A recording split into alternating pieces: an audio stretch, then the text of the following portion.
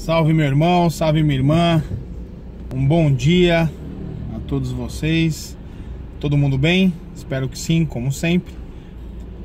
Eu sou Renato Tchalian e esse aqui é o Devaneios de Umbanda. O programa onde a gente pega um, aborda um tema de Umbanda ou de espiritualidade como um todo e discorre livremente sobre o assunto.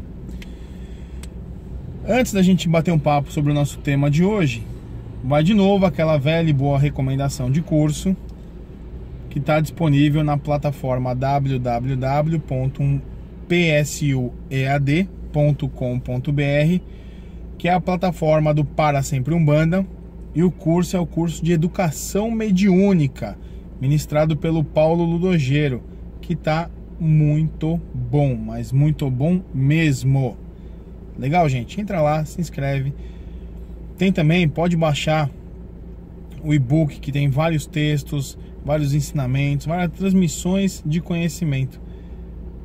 A gente sabe que a Umbanda, ela tem por tradição a oralidade, né? Então, o conhecimento ele é tradicionalmente transferido do mais velho para o mais novo através da voz e não de um texto. Mas é importante a gente ter também aproveitar todo esse material que vem sendo escrito nos últimos tempos para enriquecer o nosso conhecimento sobre a religião de Umbanda. Certo? É obrigado a fazer curso? Não é. É bom? É muito bom. Faz você crescer, faz você se aprimorar, faz você aprender novas coisas. Enfim, é muito bom. Se permita isso. O investimento é muito pequeno perto de todo. Uh, todo o conjunto de coisas boas que isso te traz, certo? O que, que a gente vai falar hoje? Qual é o tema do nosso bate-papo de hoje? Incorporar em casa. Pode, deve, você quer incorporar em casa? Então vamos falar sobre isso, não é mesmo? Muita gente é...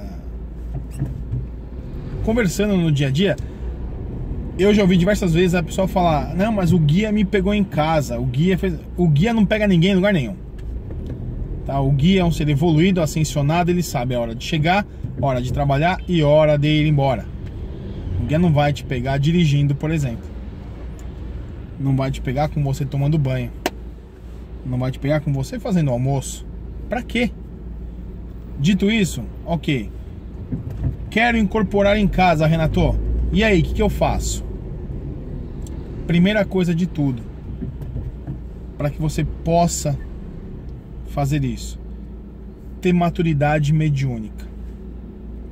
O que eu quero dizer com maturidade mediúnica?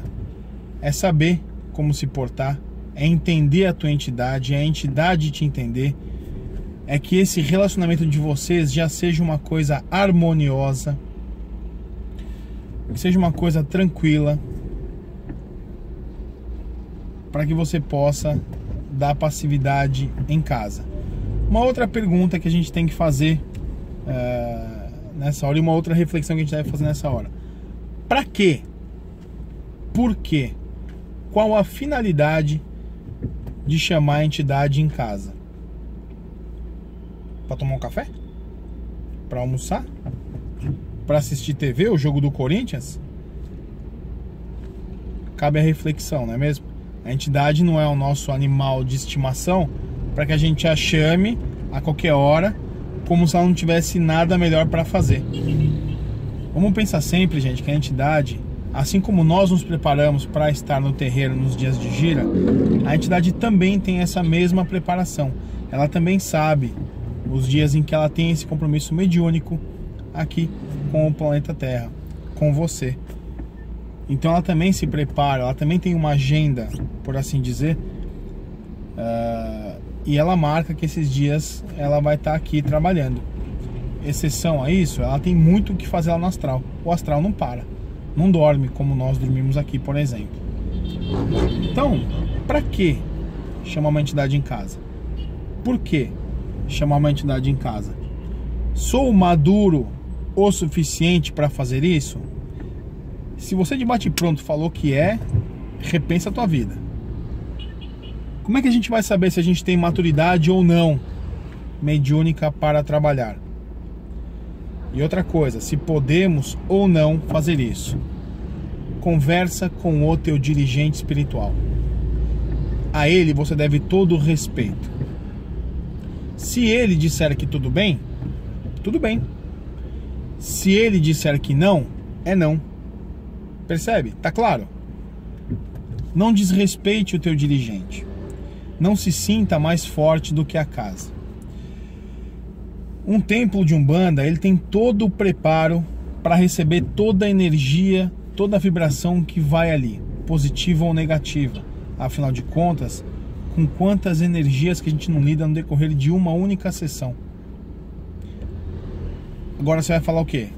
Vai falar que ali na hora da sessão não é o momento de você ajudar aquele consulente, mas você acha que na tua casa, sem fundamento nenhum, sem preparo nenhum, ali é lugar de ajudar o consulente, de fazer um descarrego, de fazer algum trabalho mais elaborado? Não é, meu irmão, não é. a tua casa, ela não tem os mesmos fundamentos. E não acha que a tua entidade é a toda poderosa que vai resolver tudo sozinho. Não é assim que funciona. De fato, a tua entidade é sim super poderosa. Ela tem poderes que você nem imagina. Só que o mandurinha não faz verão. Ninguém trabalha sozinho. Então compreenda isso, meu irmão, minha irmã. Eu conheço muitos terreiros que iniciaram na sala da casa da pessoa. Dessa mesma forma. Ajudando, atendendo, fazendo caridade, praticando. Só que se é assim que, a, que começa um trabalho mediúnico para depois virar um terreiro, aquele espaço ele é preparado espiritualmente para receber aquilo.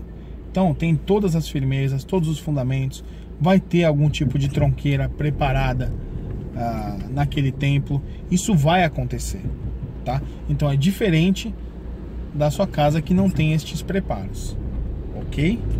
Então não acha que tua casa é o lugar de atendimento para aqueles que necessitarem.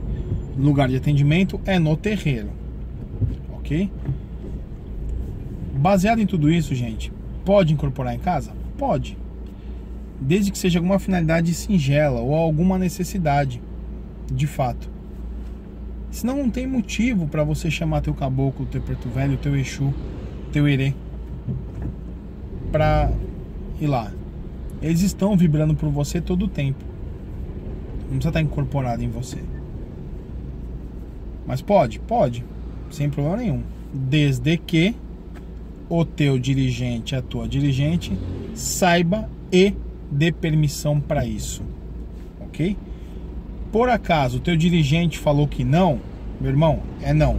Tô reforçando isso para ficar bem claro, tá? Vou atender na minha casa, vou fazer um descarrego, fazer, não é o ideal. Tá? Você não sabe depois dissipar as energias. Ah, mas meu caboclo sabe. De fato ele sabe, mas será que ele tem ali as ferramentas necessárias para aquilo? A gente não está lidando com no nosso dia a dia com coisinha pouca. As forças são densas. Por isso, toda a corrente mediúnica em um trabalho de umbanda. Ok, gente? É para ficar bem claro. Dito isso, simples, prático, rápido, fácil. Pode, pode.